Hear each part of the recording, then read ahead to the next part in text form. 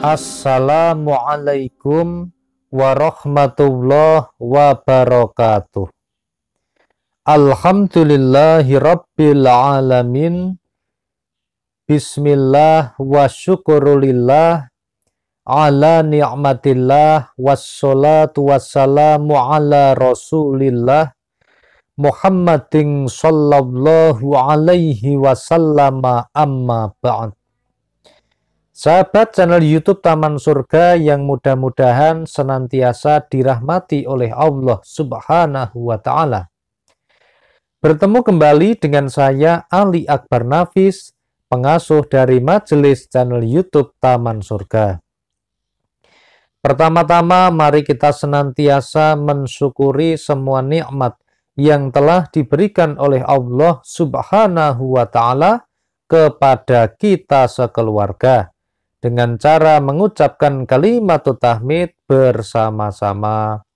Alhamdulillahi Alamin. Selanjutnya mari kita bersolawat kepada baginda Rasulullah Sallallahu Alaihi Wasallam.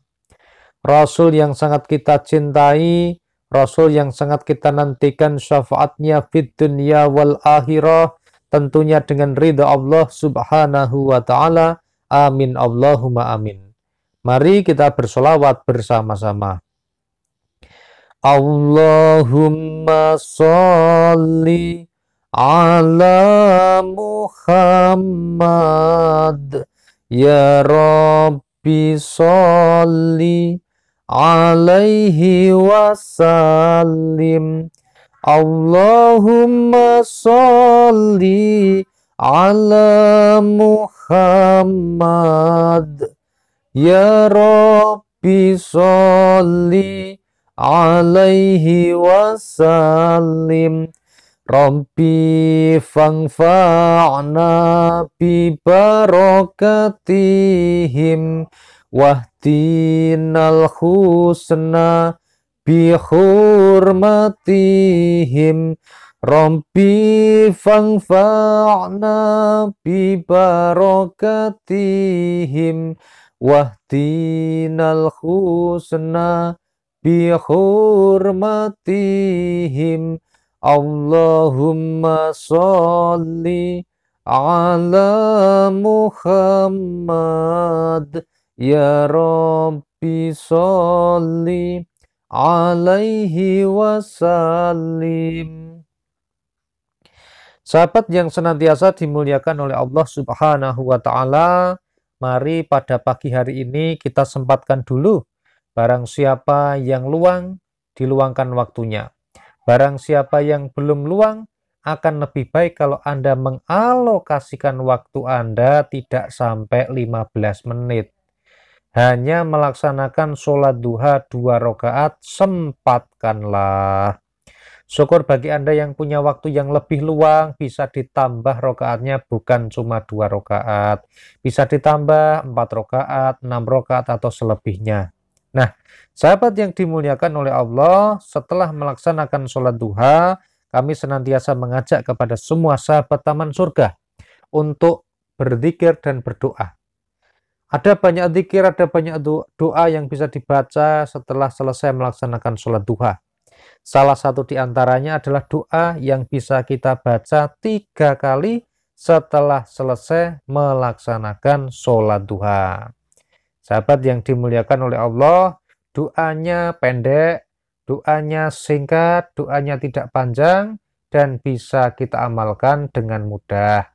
Nah, Sahabat yang senantiasa dimuliakan Allah, sebelum kita membahas mengenai doa tersebut, silahkan kepada sahabat yang baru saja bertemu dengan channel ini dan ingin senantiasa menyambung silaturahmi dengan kami serta bisa mengikuti video-video terbaru dari kami berikutnya, silahkan tekan tombol subscribe channel YouTube Taman Surga.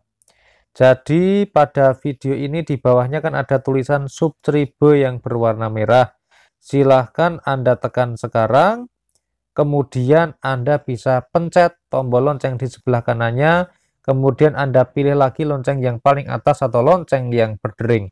Mudah-mudahan dengan demikian maka kita akan mendapatkan pemberitahuan ketika ada video terbaru yang kami update. Amin Allahumma amin. Nah sahabat kabar baiknya yang namanya subscribe ini gratis loh sahabat tidak dipungut biaya sehingga luangkanlah waktu Anda untuk mensubscribe-nya sekarang. Karena sesungguhnya sahabat dengan mensubscribe maka Anda telah membantu siar dakwah siar Islam kami. Semoga Allah Subhanahu wa taala membalas semua kebaikan Anda dengan kebaikan-kebaikan dari Allah Subhanahu wa taala. Amin Allahumma amin. Sahabat yang senantiasa dimuliakan, apakah bunyi doa yang bisa kita baca tiga kali setelah selesai melaksanakan sholat duha?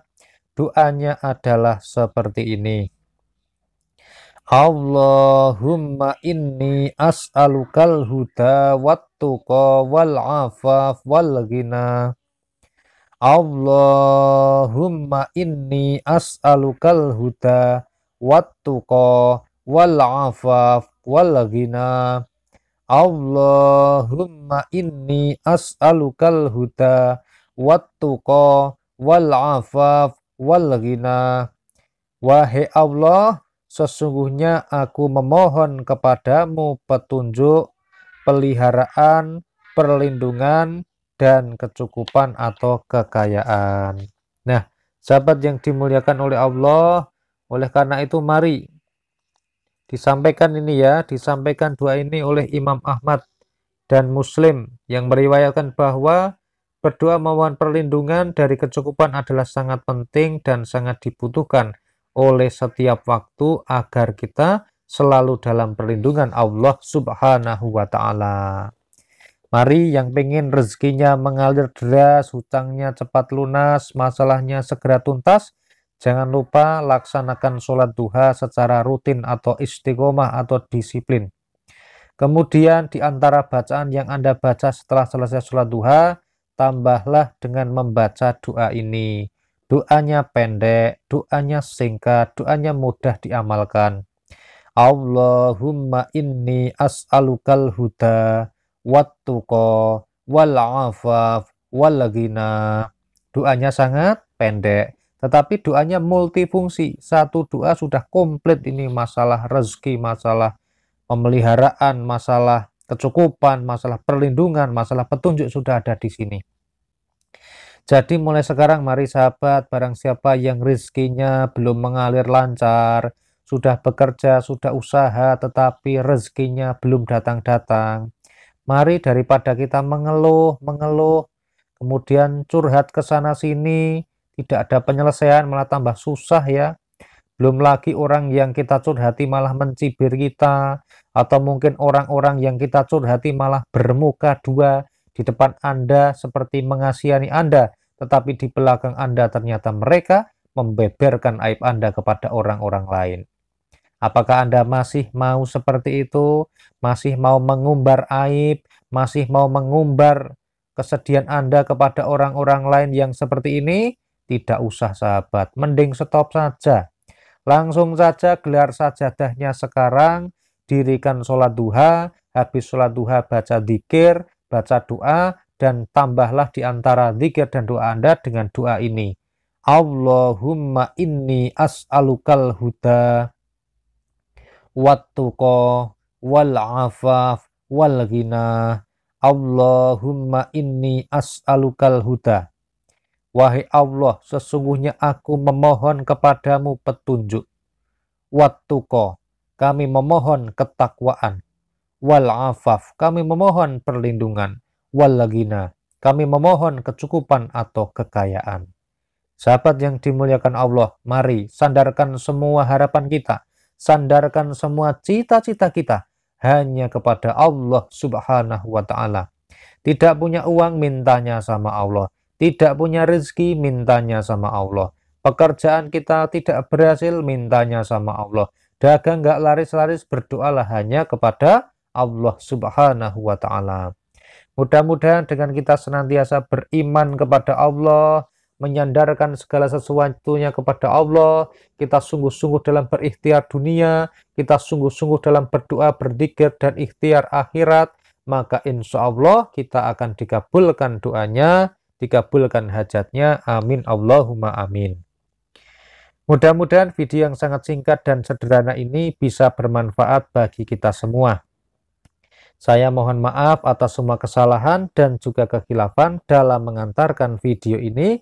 Alhamdulillahirabbil alamin. Wassalamualaikum warahmatullahi wabarakatuh.